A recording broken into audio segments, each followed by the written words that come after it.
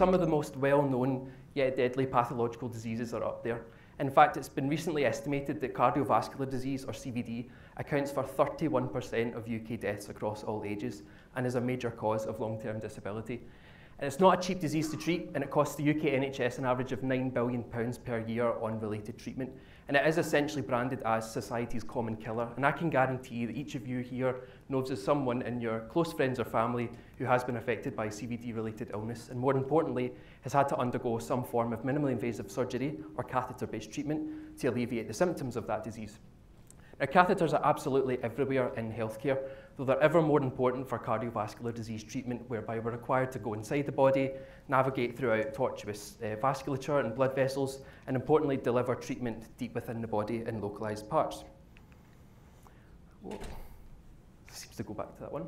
So most of you might know about this already. So this is a traditional aortic catheter, and how it's operated is that the surgeon inserts it into the patient's neck, arm, or groin, and then manually navigates this external to the patient and often guided by medical imaging such as x-ray platforms.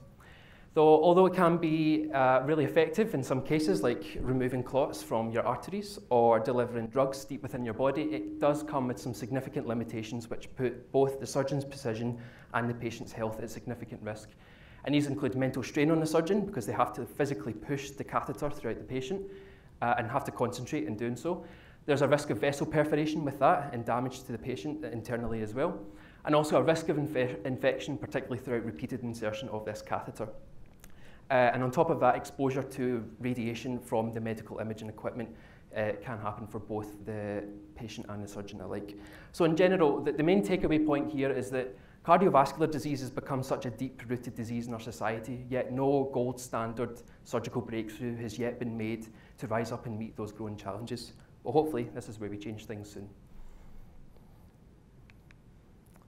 So, I'm going to state the obvious here, and forgive me for doing so, but finding out that you're undergoing surgery can be a blessing and a curse at the same time. A blessing in the sense that your problem or your illness could be alleviated in the long term, but a curse in the sense that you, could be going, undergoing a manual and intensive procedure, which can play a lot with your mind. It can seem quite daunting. So I want you to think like biomedical engineers today, and I want you to imagine a world where First of all, CVD catheters are patient tailored. So imagine if we could create a catheter uh, which knows how to bend exactly around the patient's anatomy within the body rather than relying on the surgeon to na uh, manually navigate that. There we go. Uh, imagine if those catheters were smart in, in their own way, so they know how to navigate throughout the body without relying entirely on the surgeon as well. And imagine that that type of treatment is completely accessible, so we can have patients coming in and potentially manufacture their catheters within 15 minutes or so and deliver their treatment straight off the bat rather than having to wait on the treatment being delivered. And considering all of those, imagine that the catheter treatment is risk-free. So it goes in, it delivers its, its drug or whatever, it does its job, and it comes back out without causing any sort of unnecessary harm to the patient. So you might be wondering now, are there any treatments or any developments out there which are trying to meet these gold standards? And I can say, yes, there are, are currently in development. Now enter magnetic soft tentacle robots. So if you imagine the likes of an octopus tentacle or an elephant trunk, these types of robots try and mimic the, the soft and elastic properties of those. So they're very long devices uh, and they can be wirelessly controlled in the sense that it's an elastic material which embeds magnetic particles, tiny, tiny magnetic particles throughout its length, and it can be controlled by magnets external to the patient. So having the patient lying down on the bed and um, this type of treatment navigated throughout the body using magnets outside. So it's biocompatible, so it's non-toxic to the patient as well, and it can be patient-tailored to um, the anatomy. So we could literally zap these tentacles along their length so they know exactly how to bend around different parts of the patient's body, particularly for blood vessels, as you can see up there. Though this project is very much in its infancy just now, in fact the field is very, very new, and with this comes a, a, large range of, of challenges, including a, a lack of complex bio-inspired designs. So a lot of the tentacles you see just now are quite cylindrical. But as part of my project, I wanted to actually taper them along their length, so make them thinner and thinner and see how this affects their deflection, and more importantly, how this affects their stability as they're navigating throughout the body. So just to introduce you to some key assessment metrics which I use to uh, assess how clinically suitable these types of tentacles were.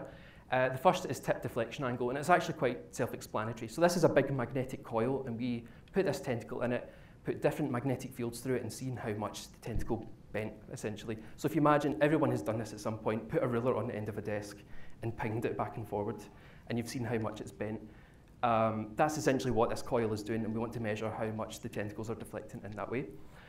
Now, the second is uh, twist, and again, it's quite self-explanatory. So when you bend the tentacle, particularly in high magnetic fields, uh, it has a tendency to twist or shift along itself, um, and it's quite an undesirable trait. So the more the tentacle is bending, the more likely it can to twist, and we want to minimize that twist as much as possible so we can uh, maximize its deflection properties. So in that, that coil we just seen there, what I've done was I bent a tentacle uh, through a range of different magnetic fields. And what you can see with the cylindrical tentacle in the blue curve there and the tapered tentacle or the octopus-like tentacle, we can achieve very, very similar deflection. So half of the problem is solved here. We can change the geometry of the tentacles, put them in the body, and it doesn't affect their deflection majorly, majorly. Although looking at twist, which is the sort of second half of this problem, um, what I've noticed here is that with cylindrical tentacles, they're very, very unstable when you put them throughout magnetic fields. Um, and twist is actually quite hard to, to quantify in general because these are soft, squishy devices. You can't really determine their behaviour through uh, the normal equations uh, which we use for the likes of beam bending and things like that. Um, so what I done was I put a series of splines of those little green dots along the tentacles and I measured how much they twisted throughout different magnetic fields. And as you can see with that thin cylindrical tentacle, um, all of those splines were completely out of, out of plane essentially, meaning that the tentacle was quite unstable throughout those magnetic fields. Um, though the thicker that the tentacle came uh, or became, and in fact at this particular taper angle here, all of those splines were actually in plane, meaning that we could deflect the tentacle to the exact same way as the previous tentacles, but in a far more stable fashion, which is essential because if you want to put this in your body, you want it to deflect as best as it can, but at the same time um, be as stable as it can so it doesn't, want, uh, doesn't cause any unnecessary uh, damage. As I've hopefully said, uh, current CVD catheters are significantly limited in their operational and their navigation abilities, though magnetic soft tentacles can offer a safer and atraumatic alternative, and that's because they can be wirelessly controlled external to the body.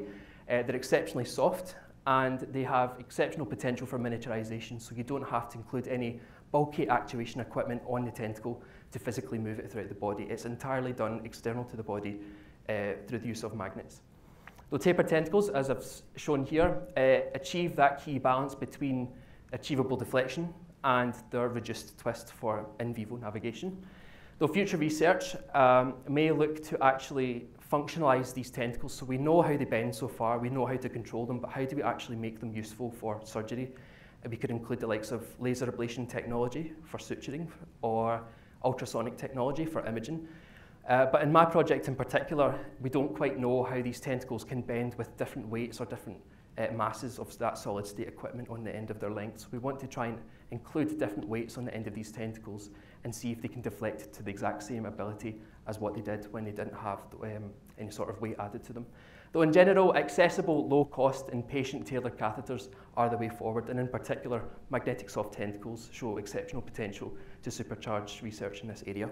So, Thank you very much for listening, and I'm happy to take any questions.